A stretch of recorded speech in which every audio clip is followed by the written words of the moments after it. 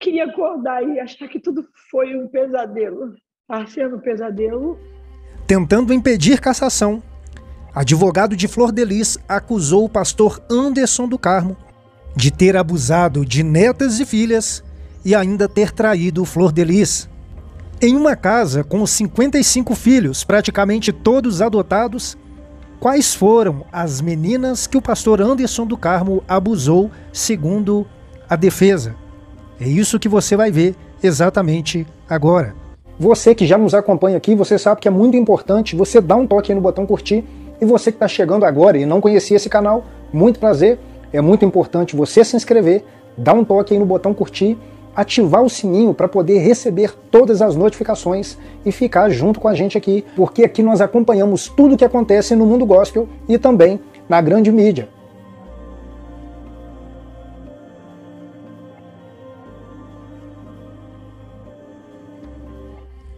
Pessoal, como a gente vem acompanhando esse caso aqui, e você também vem acompanhando esse caso conosco, e uma das coisas que a gente vem percebendo é que os advogados de Flor de Lis vai tentar fazer o possível para amenizar, para relaxar a prisão ou até tirar Flor de Lis da prisão o mais rápido possível. E toda vez que um argumento de defesa é frustrado, eles vão tentando cavar mais fundo para poder tentar colocar uma má imagem do pastor Anderson do Carmo em relação a Flor de Lis, para ver se pelo menos a justiça começa a olhar um outro lado da moeda que até então não havia visto. E quem vem acompanhando esse caso aí já percebeu que até o meio das investigações, o pastor Anderson do Carmo era considerado para Flor de Lis o marido perfeito. Mas quando as fichas para poder tentar defender Flor de Lis foram acabando, eles tiveram que colocar uma outra imagem em relação ao pastor Anderson do Carmo. Então o pastor Anderson do Carmo passou a ser de um marido perfeito e passou a ser o pior dos homens da face da terra. Vale a pena a gente frisar aqui o seguinte: é lógico que o pastor Anderson do Carmo não era santo nessa história. E essa tentativa aí de defesa dos advogados de Flor de Lis, tentando colocar o pastor Anderson do Carmo como um abusador, tanto de manter Flor de Lis num relacionamento abusivo sentimentalmente, mas como também abusar no sentido literal da palavra, que seria abusar de netas e filhas no sentido sexual. Pode ser que todas essas acusações contra o pastor Anderson do Carmo pode ser que sejam verdades, porque para mim, quem fazia parte do alto escalão ali dentro daquela casa não tinha nenhum santo. Para mim todos estavam envolvidos em muitas maracutaias. Principalmente o pastor Anderson do Carmo por ser o cabeça por ser o articulador dentro daquela família. Então, creio eu que o pastor Anderson do Carmo tem até outros crimes nas costas. Inclusive, em algumas falas da doutora Bárbara Lomba, ela mesmo identificava a família Flor de Lis como uma quadrilha, literalmente, uma quadrilha de bandidos. E isso também incluía o pastor Anderson do Carmo. Nós temos que entender o seguinte: o pastor Anderson do Carmo não tem nada de santinho. Aonde está o, o X da questão nesse caso? É que Flor de Lis até então encobriu todos os erros do pastor Anderson do Carmo, o colocou como se fosse um marido perfeito, um homem, um pai, um pastor, um padrasto, um avô exemplar, e depois que o homem perde a vida, depois que tudo está dando errado, ela tenta agora colocar toda a culpa nas costas do falecido. Eu estou aqui no portal de notícias extra.globo.com e você vai ficar esclarecido agora aqui com essa matéria. Vamos acompanhar essa matéria comigo. Olha o que está dizendo. Durante seu tempo de fala na tarde dessa segunda-feira, no plenário da Câmara dos Deputados, um dos advogados da deputada federal caçada Flor Delis dos Santos de Souza fez acusações contra o marido da pastora, o pastor Anderson do Carmo, assassinado a tiros em junho de 2009.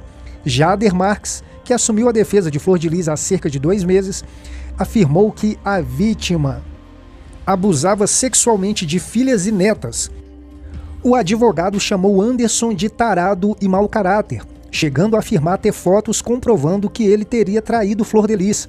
Jader falou durante 25 minutos antes da votação da cassação do mandato de sua cliente pelo plenário.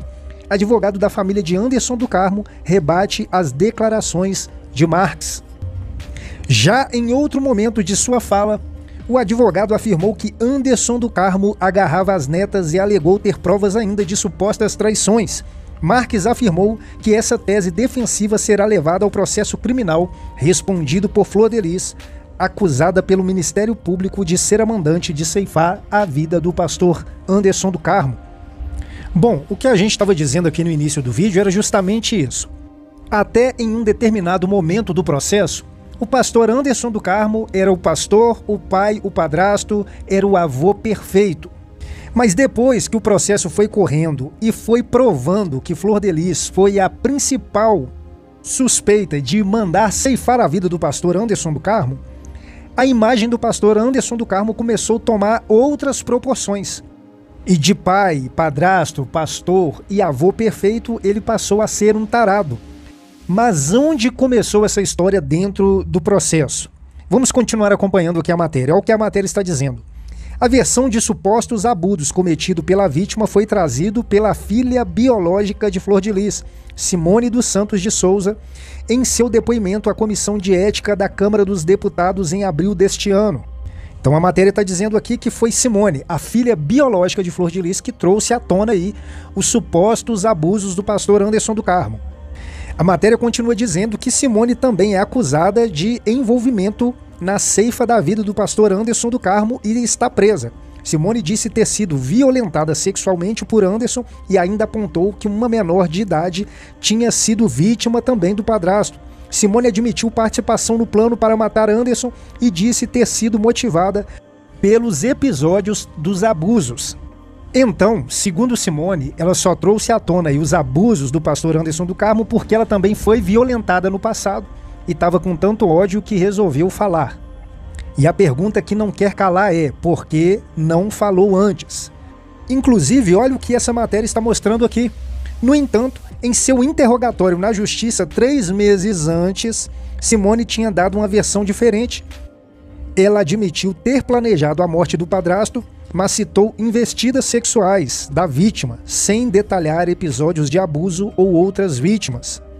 Ou seja, a Simone dos Santos, ela teve a oportunidade em depoimento de falar toda a verdade dela que ela está dizendo agora, mas ela preferiu encobrir os supostos abusos.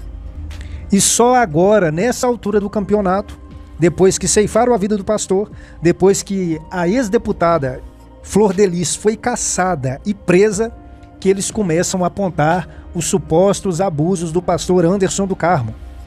E agora, o que vai pesar, creio eu, não somente aí para a justiça, mas vai pesar também para a sociedade e até para o júri popular que vai estar jogando Flor Delis.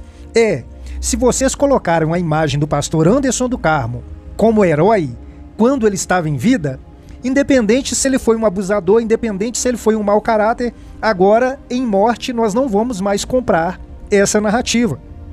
Ou seja, mesmo que seja verdade que o pastor Anderson do Carmo era um mau caráter e um abusador, ele vai ser visto como um homem exemplar, porque justamente quem colocou essa imagem dele para a sociedade foi a ex-deputada Flor Delis e a sua família. Porque essa tese vai ser levada justamente para o entendimento de que um falecido ele não pode se defender. Então, mesmo que seja verdade que o pastor Anderson do Carmo seja um crápula, um cafajeste, um mau caráter, abusador, hoje ele é o falecido Anderson do Carmo e não pode dar sua versão, não pode se defender, não pode falar. E vai ser visto definitivamente para muitos como o herói, o pastor exemplar Anderson do Carmo, que teve a vida ceifada pela sua, até então na época, mulher, ex-pastora, ex-deputada Flor de Lis. Queria aproveitar e pedir para você, para que você não se esqueça de se inscrever aqui no nosso canal, ativar o sininho das notificações, dê um toque no botão curtir para poder nos apoiar, isso é muito importante, e eu estou te esperando aqui no próximo vídeo.